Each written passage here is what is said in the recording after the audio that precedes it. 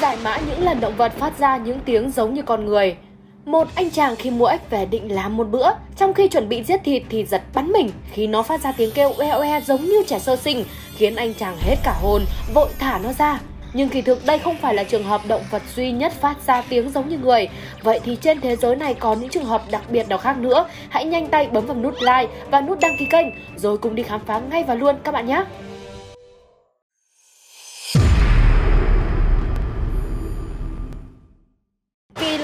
Phát ra tiếng khóc giống như trẻ sơ sinh.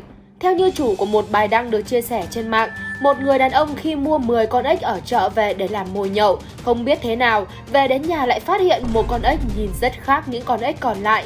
Khi mà đặt lên thớt thì đột nhiên nó phát ra cái tiếng kêu oe oe liên hồi giống như tiếng trẻ con đang khóc, khiến cho người đàn ông giật bắn cả mình, vội thả con ếch ra. Tuy nhiên, con ếch này không hề tìm cách tẩu thoát, mà vẫn ngồi đó hướng cặp mắt về phía anh, kèm theo tiếng khóc ỉ ôi như thể đang cầu xin được tha mạng.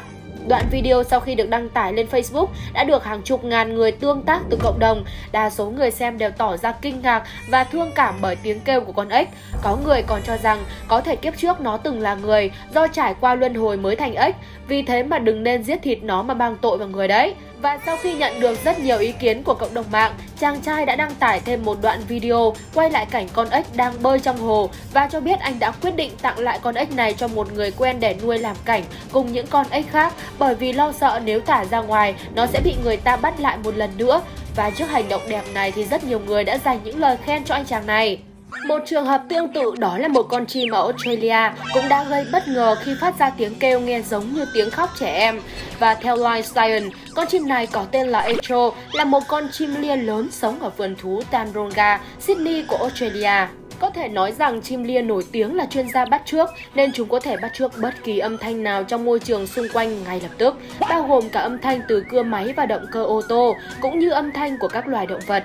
Một giám sát viên của vườn thú Taronga cho hay, khoảng một năm trước, Echo bắt đầu phát ra tiếng kêu giống như tiếng khóc của trẻ em. Tôi cho rằng Echo có thể bắt trước tiếng khóc trẻ em vì nó đã nghe được từ những vị khách đến thăm sở thú. Nhưng điều này cũng đáng lo ngại bởi vì sở thú là một địa điểm tham quan thú vị, vui vẻ dành cho các gia đình. Ban đầu thì Echo bắt trước được hai âm thanh khác nhau, một là tiếng máy khoan điện, hai là chuông báo cháy. Nó bắt trước giống hệt, nếu du khách mà thấy thì chắc sẽ có người chạy đi mất. Chú chó vừa đánh đàn dương cầm vừa hát phải công nhận rằng động vật cũng có những sở thích riêng của chúng giống như con người và nghệ thuật cũng là một lĩnh vực mà nhiều thú cưng mê đắm. Có những thú cưng cứ chủ mở nhạc là lắc lư, mở tivi là ngồi xem chăm chú, thậm chí có cả con vật thích đánh đàn và thích hát như những nghệ sĩ chuyên nghiệp.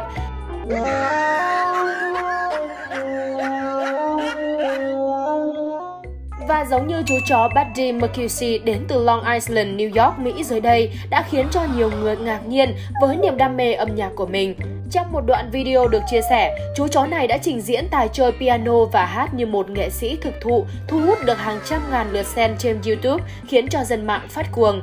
Mặc dù đoạn video có độ dài 1 phút nhưng được cộng đồng mạng lan truyền chóng mặt, trong đó người chủ đã quay lại cảnh chú chó đang đặt hai chân trước của mình lên trên phím đàn piano và dùng chính chân để ấn các nốt nhạc. Sau khi nghe thấy âm thanh phát ra từ cây đàn piano thì chú lại càng thể hiện niềm đam mê âm nhạc khi bắt đầu hát bằng cách ngửa cổ lên và hú, trong khi đuôi không ngừng ngoe nguẩy, làm cho nhiều người xem không khỏi thích thú. Đoạn video vui nhộn này được chia sẻ trên một tài khoản YouTube có tên là Buddy McKinsey và được biết nó chính là tên một chú chó đã được cứu hộ ở thành phố Long Island, New York của Mỹ và trở nên nổi tiếng với những video quay lại cảnh vừa chơi đàn dương cầm vừa hú theo. Và đặc biệt chú chó này còn giành được giải thú cưng tài năng nhất của năm do chương trình Good Morning America tổ chức. Chủ của Buddy cũng đã lập tài khoản trên các nền tảng mạng xã hội khác, dành riêng cho nó, ví dụ như là Instagram hay là Twitter, để người hâm mộ có thể chiêm ngưỡng chú chó này trổ tài âm nhạc. Những clip vừa chơi đàn dương cầm vừa hát một cách chuyên nghiệp đã được lan truyền rộng rãi và cũng nhờ vậy đã mang lại tiếng cười và niềm vui cho mọi người trên khắp thế giới. Mèo Blackie biết nói đòi mẹ có thể nói rằng trên thế giới thì số lượng động vật có thể nói được tiếng người thì chỉ đếm trên đầu ngón tay mà thôi. Và chú mèo Blackie là một trong số những của hiếm này. Và từ năm 1981, khi Internet còn chưa phát triển lắm, thì chú mèo này đã rất nổi tiếng trên toàn thế giới rồi. Dù nổi tiếng nhưng số phận của chú mèo này cũng không thật sự hạnh phúc khi biến thành công cụ kiếm tiền của chủ. Người chủ của nó là ông Carol Miller, sống tại thành phố Augusta, Georgia, đã đào tạo thành công chú mèo Blackie của mình nói được những câu như là Anh yêu em và tôi muốn mẹ tôi. Ở thời điểm này, trong suốt những năm 1980, Blackie đã xuất hiện trên nhiều chương trình truyền hình và đài phát thanh địa phương có trả phí. Thậm chí thì ông ta còn cho Blackie biểu diễn trên đường phố, nơi công cộng trước đám đông. Việc kinh doanh của ông với chú mèo dường như đã rất thuận buồm xuôi gió. Tuy nhiên, sau đó bị chính quyền địa phương yêu cầu họ phải có giấy phép kinh doanh để tiếp tục. Lúc đầu thì người chủ đồng ý trả 50 đô la để có giấy phép, nhưng sau đó ông ta lại cảm thấy như thế là không đúng và đã kiện chính quyền thành phố vi phạm quyền tự do ngôn luận. Nhưng cuối cùng, Becky và ông chủ đã thua kiện. Sự thật sau màn cuốn con nói tiếng người làm giám khảo Britain Got Talent hóa đá. Và không biết là ở đây có bạn nào hay theo dõi chương trình Britain Got Talent hay không? Và nếu thường xuyên theo dõi chương trình tìm kiếm tài năng của anh thì chắc hẳn sẽ không thể nào quên được tiết mục đầy ấn tượng cún con nói tiếng người này. Và ngay khi chú chó phát ra âm thanh đầu tiên, cả hội trường và các vị giám khảo đều bị sốc. Ngay cả vị giám khảo Simon chuông hoa thường ngày cũng phải mở to hai mắt nhìn kinh ngạc, không thể nào tin được vào mắt mình.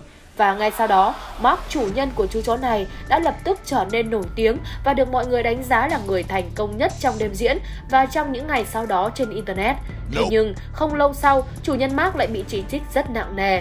Theo báo giới cho biết, tiết mục diễn ra rất thành công nhưng bí mật đằng sau nó rất chi là tàn nhẫn. Và đầu tiên họ đặt vào trước miệng chó một cái mồm giả. Khi biểu diễn, người ta điều khiển cho cái mồm giả đó đóng mở như ý muốn và kết hợp với hơi từ bụng để lồng tiếng.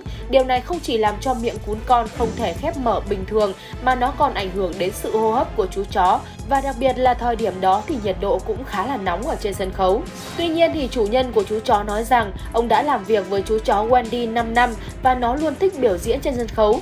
Chương trình Britain Got Talent cũng đã nói rằng xem xét việc này trong quá trình sơ tuyển và không hề vi phạm quy định. Họ cũng nói thêm, một màn biểu diễn tương tự đã từng được biểu diễn trong American Got Talent năm 2012 và đã xếp vị trí thứ hai. Trước những lý do trên, thì cơ quan bảo vệ động vật cũng đã làm việc với chương trình để xác định chính xác phương pháp mà Mark đã dùng để cho Wendy biểu diễn.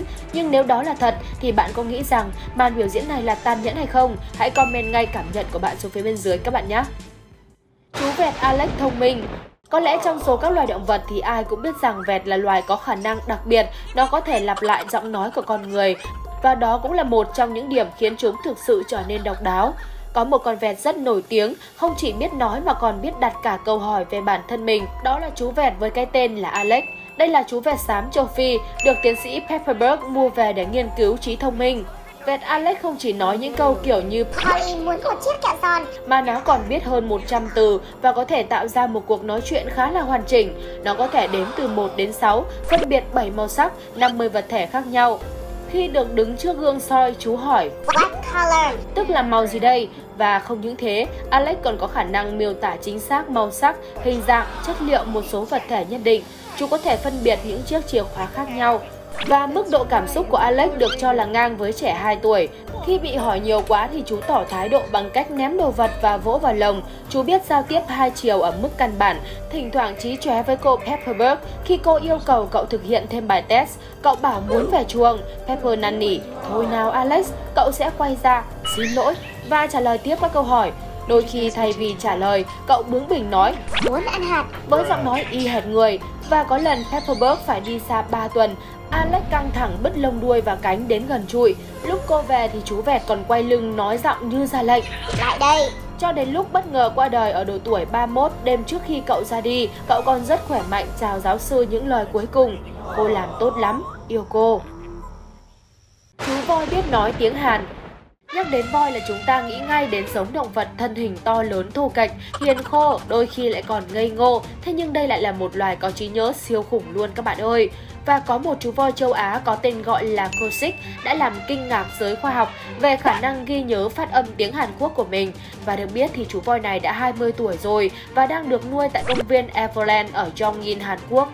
Người đầu tiên phát hiện ra chú voi biết nói là ông Kim Jong-kap, đồng thời cũng là một người huấn luyện voi. Ông cho biết rằng, ban đầu thì Kosik chỉ nói được một âm đơn giản thôi, chứ không phải là một từ cụ thể nào đó. Tuy nhiên, qua thời gian, chú voi đã phát âm được một số từ rất chi là chính xác. Thấy thú vị trước thông tin này, nhiều nhà khoa học đã tìm đến công viên Everland để tìm hiểu xem liệu rằng Kosik biết nói hay chỉ là nhại lại giọng người. Và trong số này có tiến sĩ Daniel Mitchell đến từ Đại học Jena của Đức. Giới chức vườn thú đã đặt đầu voi voi vào miệng để chuyển âm thanh thấp tự nhiên của chú voi thành tiếng người đầy thuyết phục và các nhà nghiên cứu cho biết rằng chú voi đã bắt đầu học bắt chước tiếng người và có thể phát âm được ít nhất 7 từ tiếng Hàn như là từ xin chào, ngồi xuống, nằm xuống và tốt hay là không. Tuy nhiên thì các nhà nghiên cứu tin rằng chú voi không hiểu những gì chú ta nói ra. Và nhờ vào khả năng phát âm của con xích mà giờ đây loài voi đã được gia nhập danh sách loài vật có thể bắt chước được tiếng người. Hải cẩu Hoover Hoover là một chú hải cẩu sơ sinh mồ côi được tìm thấy và nhận nuôi bởi cặp đôi George và Alice Swallow ở Maine vào năm 1971. Sau khi được cha mẹ loài người nhận nuôi, thì Hoover đã có một điều kiện sống cực kỳ là tốt. Nhờ chế độ ăn uống hợp lý, chú hải cẩu này đã phát triển một cách nhanh chóng. Khi bắt đầu về nhà mới thì Hoover được sống trong bồn tắm riêng của gia đình. Đến khi lớn hơn, chúng được chuyển ra sống trong các chiếc hồ của cha mẹ và có lẽ Hoover cũng giống như những em bé khác, cảm nhận được tình yêu thương và chăm sóc cũng như ngôn ngữ của cha mẹ mình. Tại đây thì Hoover đã được dạy và học cách nói chuyện bằng cách bắt chước giọng nói của loài người. Và cuối cùng chúng có thể nói thành thạo hai câu nói, đó là Well hello there và Get out of here.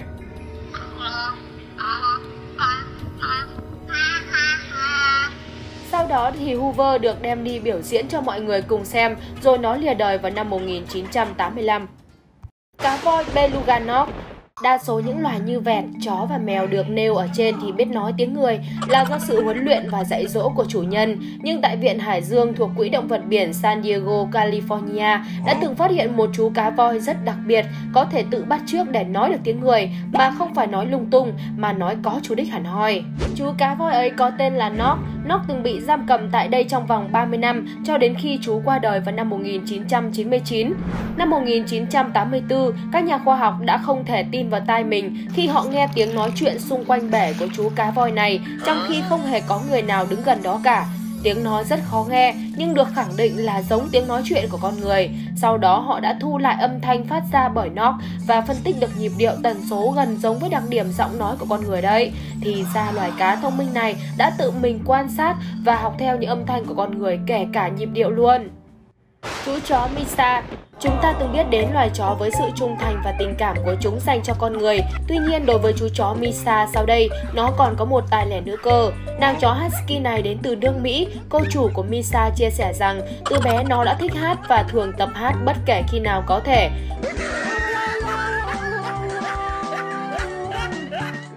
Ngoại hình xinh xắn đáng yêu, Misa lại còn gây ấn tượng với mọi người nhờ khả năng biết nói. Câu nói I love you của cô chó này đã làm tan chảy vô số trái tim của những người yêu động vật trên toàn thế giới. Ngoài ra thì Misa còn có thể phát âm được nhiều từ khác và các câu khác nhau, ví dụ như là Hello, how are you, how are you doing, Happy New Year. Và với tài năng của mình thì cô nàng đã được rất nhiều người yêu thích. Tuy nhiên thật tiếc đó là nó đã bị mắc bệnh ung thư và qua đời vào năm 2017 rồi.